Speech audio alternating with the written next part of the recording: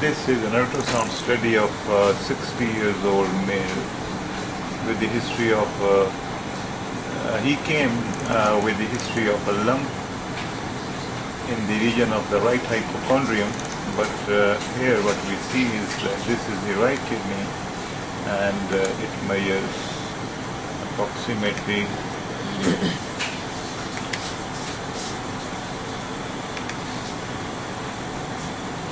uh, 13.2 into 4.9. Now lengthwise, it is line as up to 11 in our uh, social uh, and uh, social conditions and culture. Up to 11 is considered normal. It is 13.2, so enlarged in length. However, in anterior posterior diameter, it is 4.88 millimeter, uh, 4.88 centimeters.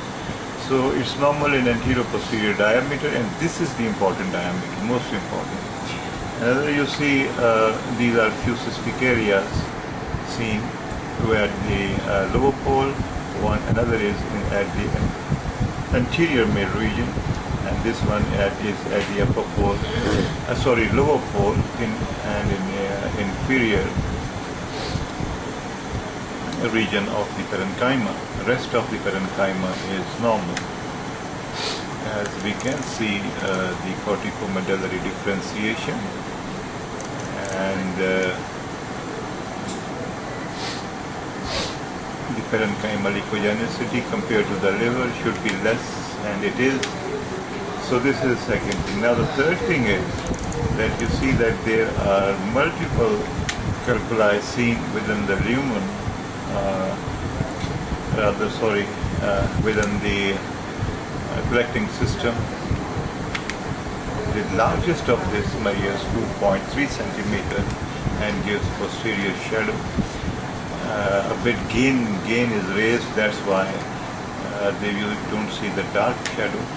However, if I reduce the gain, you will see a dark shadow. This is uh, how you adjust your machine. So this now you will see a dark shadow, whereas initially you were seeing a dirty shadow.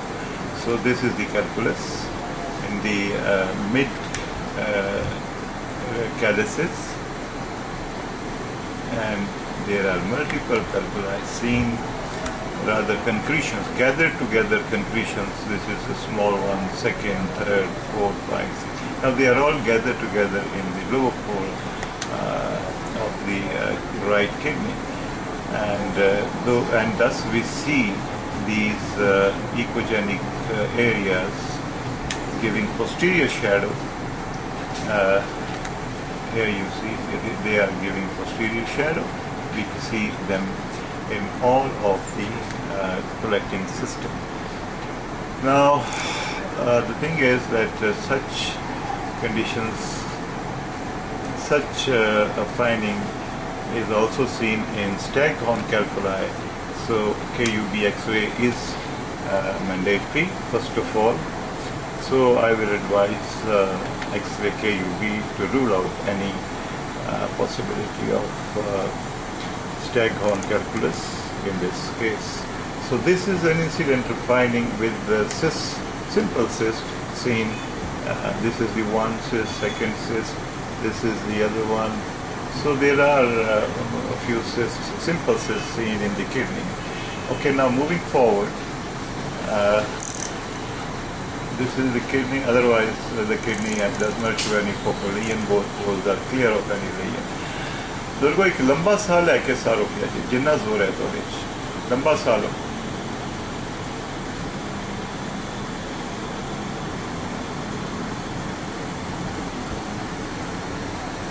I wish to show you that uh, forget about this finding so far, forget about this.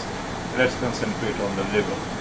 You see the, this is the portal vein branching into right and left, left and right.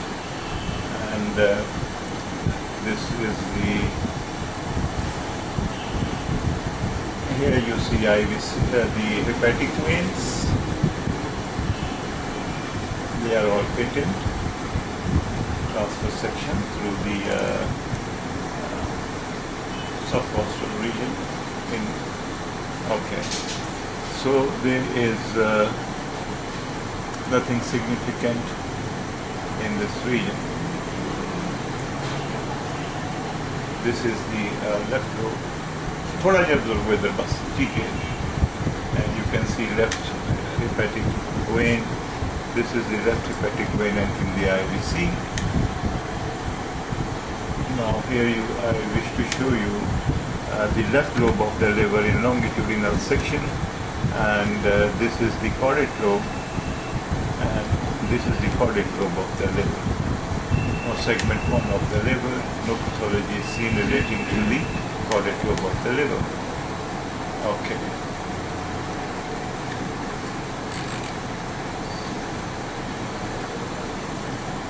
So following this, now you see I have got I have got the gallbladder. This is the gallbladder oh, from Mayan.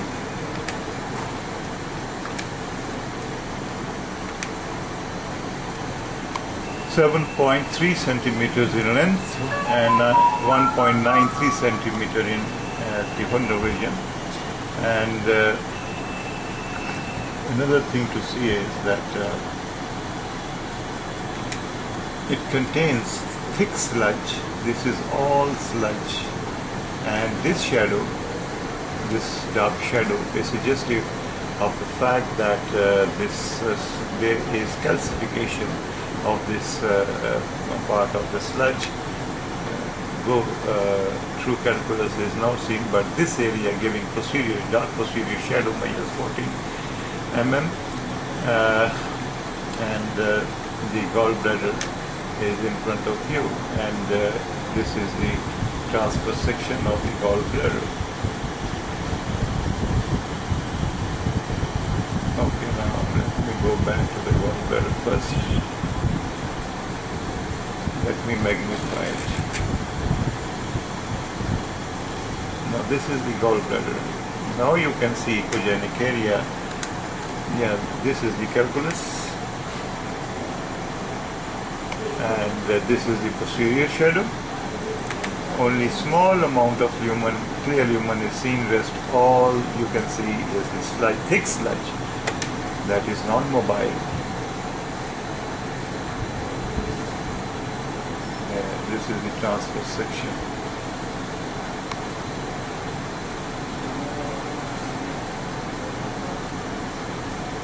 I feel like applying some color on this region.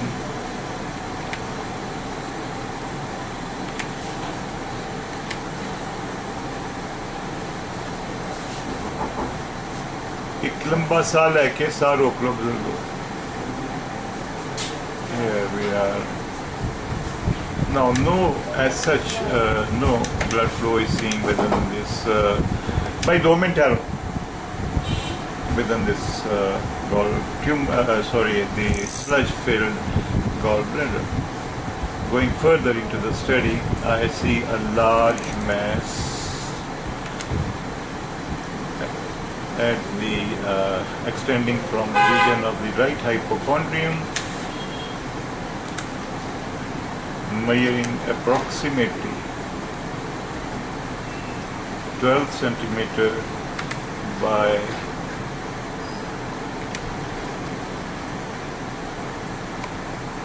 5 centimeter approximate measurement. And if you see it gives uh, a, a mixed echo appearance. The outer wall is relatively muffled and the internally you can see multiple uh, echogenic areas. Within that tiny cystic areas are seen uh, this is the uh, mass, solid mass, because we do not see any posterior wall acoustic enhancement. There is no calcification seen within this mass, and this is the portal vein that you, is in front of you. This is the common bile duct, and uh, the portal vein measures uh, approximately 8.0 from this view. Anyways, not dilated, and uh, so this is a mixed echo uh, mass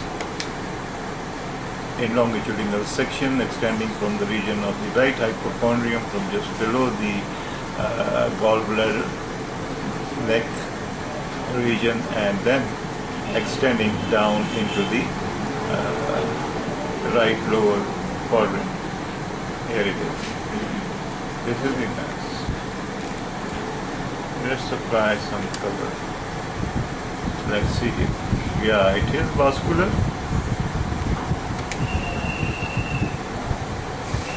You can see vessels throughout this mass.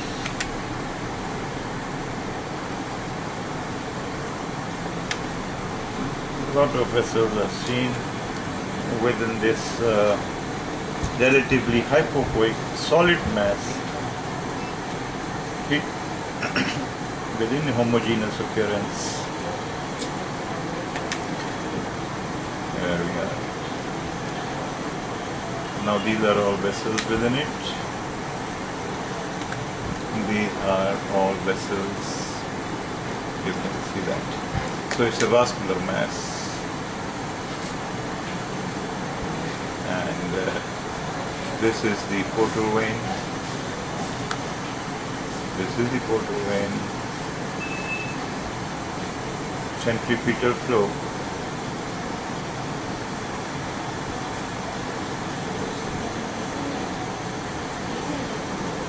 okay now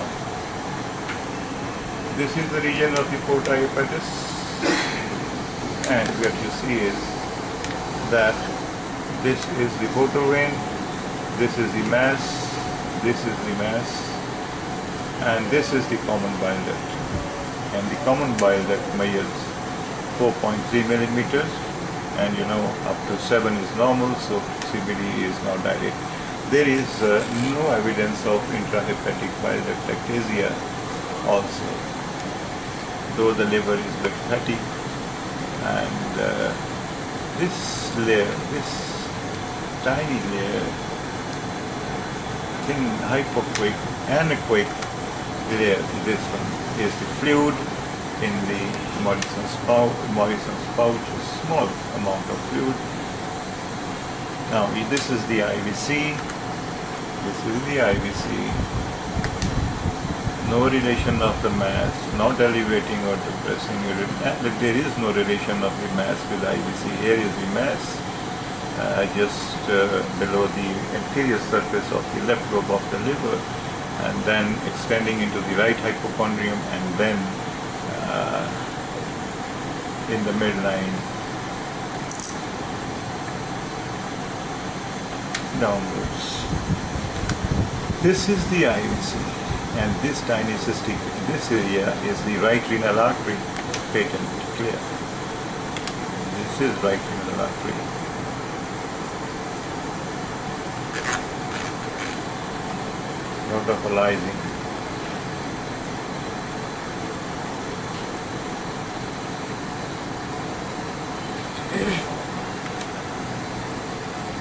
This is the uh, right renal artery as when I will maneuver the probe it will enter the hilum of the uh, kidney. So this mass has no effect on the vessels. This is the transfer section of the kidney and here is the hilar region, vessels entering and leaving the hilar region of the uh, kidney.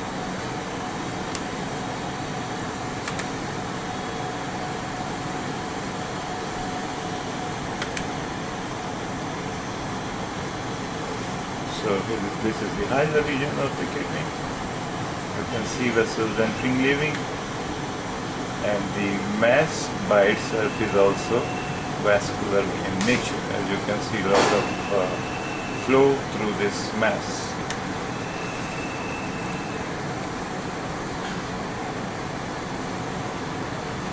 Kidney. We saw kidney transfer. Now I am giving you the transfer section.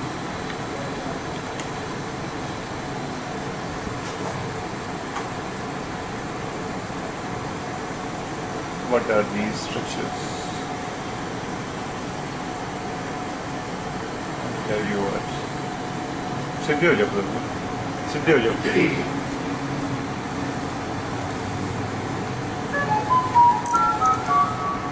Now if I freeze the image here and I show you, this is the left lobe of the liver with smooth outer margin, diffuse raised echogenicity, fatty liver, and this is the uh, ligamentum venosum, this is the left hepatic vein, and this is the IVC, this is the caudate lobe ligamentum venosum segment 1, whereas this is a lymph node and right lymph node seen. And yet another one is seen in the uh, retroperitoneal region and you can see the measurements. There are a large one. Measuring 4.6 into 3.2 other one measuring 5.8 into 2.4 so these are large uh, lymph nodes. This is the another one. Here. This is another lymph node. You will be interested that whether I apply color on this or not. I will. First of all, this one.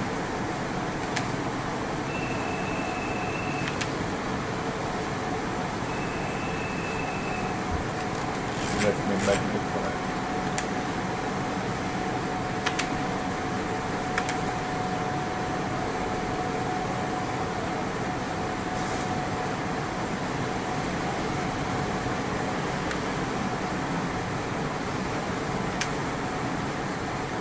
This is a lymph node and I lymph node.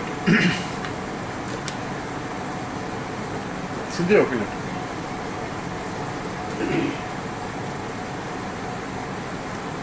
Now this is the, I am going to show you the aorta.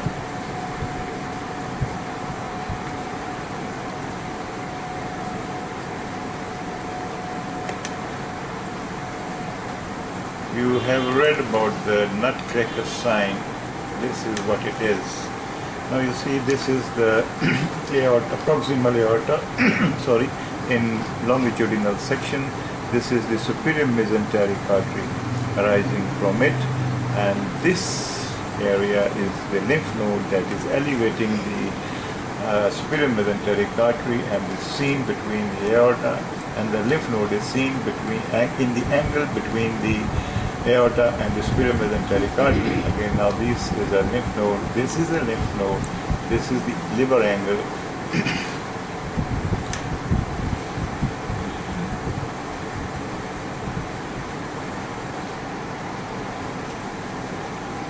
now you will be interested to see the pancreas.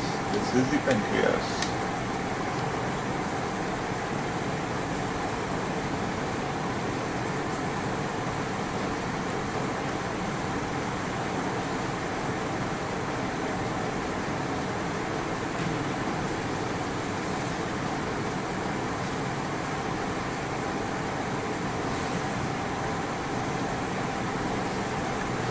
Okay, this is the part of the body of the pancreas. This is the lymph node that you are seeing. This is the common hepatic artery.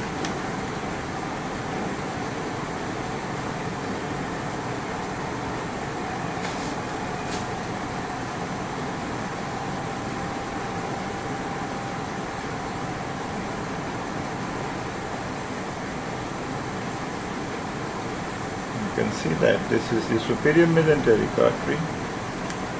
This one. Won't believe? Now you will believe.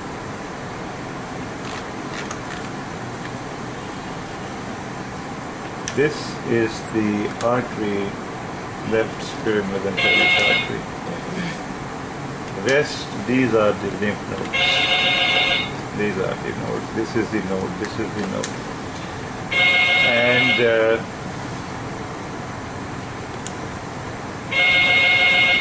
uh, you see this is a lymph node.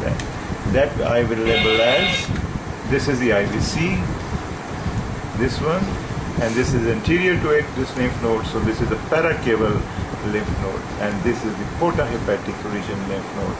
As you can see there are that uh, now I will show you in a, another view. See, here comes the portal vein. This is the portal vein, this one. This is the uh, lymph node. This is the common bile duct, hepatic artery.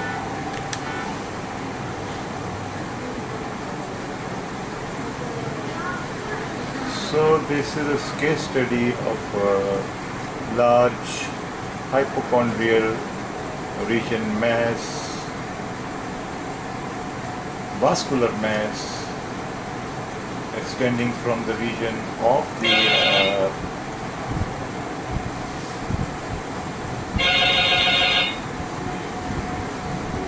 now what I want what I what I am doing now is to show you the pancreas from another view. This is the pancreas, this is the splenic vein and uh, it does not the mass does not relate to the pancreas.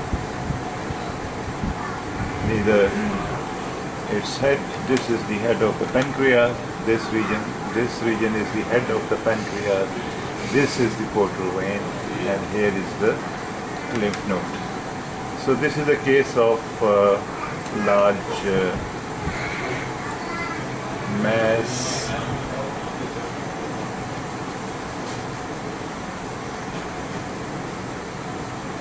extending from the region of the right, uh, sorry, uh, right hypochondrium, yeah, down up to the periumbilical region on the left side. And you can see the aorta posterior to it pulsating. This is the aorta with para-aortic plain lymph node, para-caval plain lymph node, and paraceliac plain lymph nodes.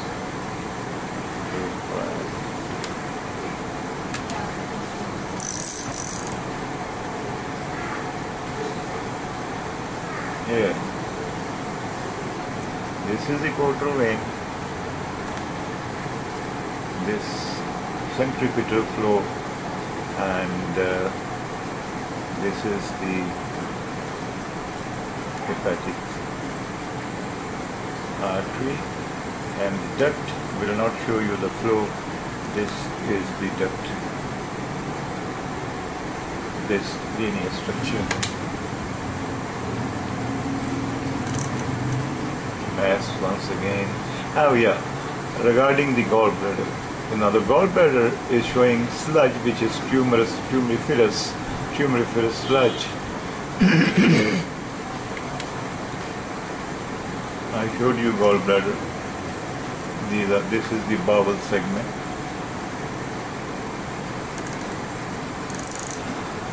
This is the hepatic vein. This one.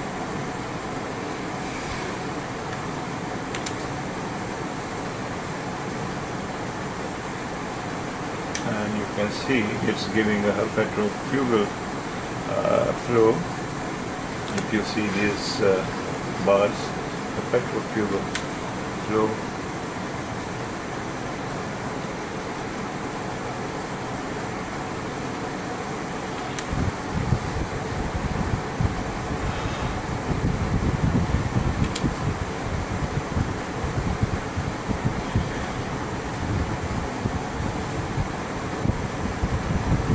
For those who are interested in uh, Study and who are trained in this uh, segment of sonology, this now you see you don't see a flow in this duct tubular structure. This is the common hepatic duct. Uh, so there is no flow in it. This is the hepatic artery.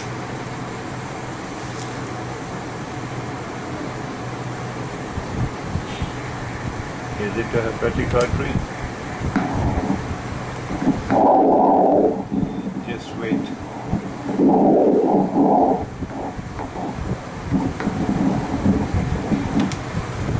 Just wait, just wait, just wait.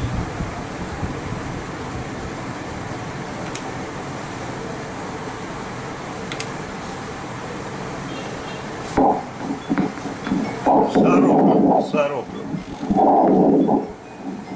सानीलन सा रोक लो बुजुर्गो सानीलन रोको कोशिश करो एक second तो शाबाश कोशिश करो जरा कोशिश करो The patient is really unable to hold the, anyways, he cannot hold the uh, breath so not to force it.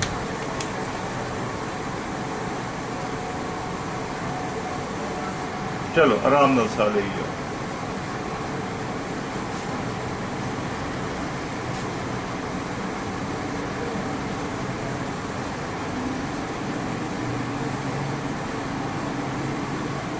No splenomegaly was seen during the scan and uh,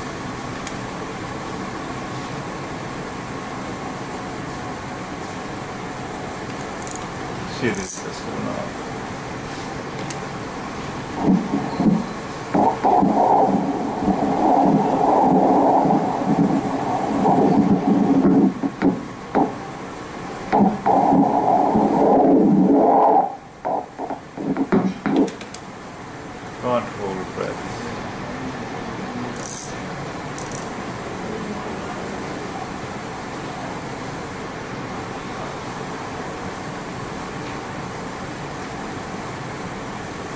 Will try once again. Yes. अगर sir रोक सको थोड़ा जिहा